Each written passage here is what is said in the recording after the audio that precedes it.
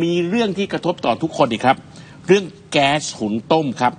เราจับตาดูวันนี้เลยนะครับท่านผู้ชมครับกบง วันนี้มีการเตรียมประชุมนะครับ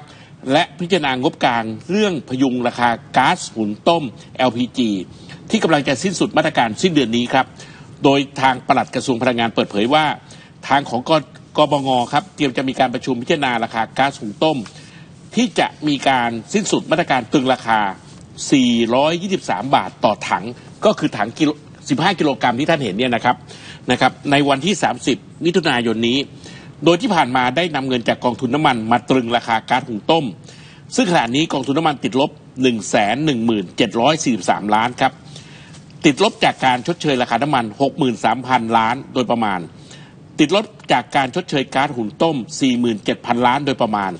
จึงต้องพิจารณาถึงความเหมาะสมว่า สมควร จะยกเลิกมาตรการนี้แล้วหรือไม่นะครับ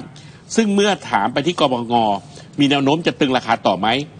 ทางปลัดกระทรวงพลังงาน กล่าวว่ายังไม่สามารถตอบได้ครับ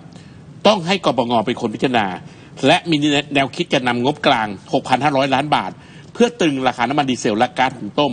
นะครับเรื่องนี้ทางกระทรวงพลังงานเคยขอจัดสรรไปแล้ว แต่สำนักงบประมาณให้ใช้มาตรมาตรการกองทุนน้ำมันเข้าไปช่วยเหลือประชาชนไปก่อน แล้วก็ต้องยอมรับครับว่า กองทุนน้ำมันตอนนี้แห้งแล้วแห้งอีก ซึ่งใกล้ที่จะกำหนดระยะเวลาชำระเงินต้นงวดราวๆสามหมื่นล้านในต้นเดือนพฤศจิกายนนี้ให้กับสถาบันการเงินที่กู้มานะครับ โดยมีกระทรวงการคลังเป็นผู้ค้ำประกันครับอะเรื่องนี้ก็ต้องจับตา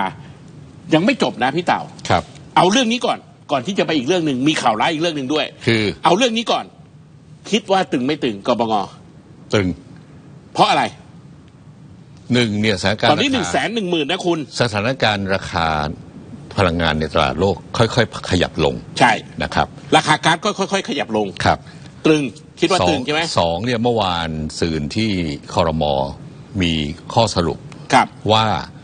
จะเพิ่มอัตราการชดเชยอ่า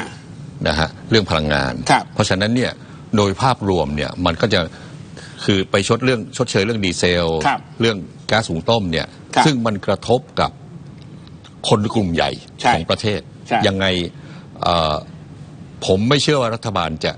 เออยอมหักหักอะไรความรู้สึกของประชาชน ผมฟันธงเลยนะพี่เต่าตรึงตรึงอยู่แล้วก๊าซเนี่ย แต่คำถามที่ผมจะถามพี่เต่าต่อ ถามท่านผู้ชมต่อ ถ้าก๊าซตึง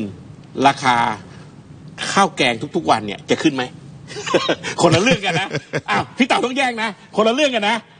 คือคนละเรื่องกันนะ คือคือก่อนก่อนที่พี่เอกจะถามคำถามเนี่ยเอผอมเชื่อว่าหลายร้านขึ้นไปแล้วล่วงหน้า เออนะครับอะต้องฝากไว้ถ้าเขาตรึงจริงนะฮะ ต้องฝากพี่พี่พี่พี่ๆแม่ค้านะครับ ก็ต้องตรึงราคาตามราคาก๊าซด้วยนะครับ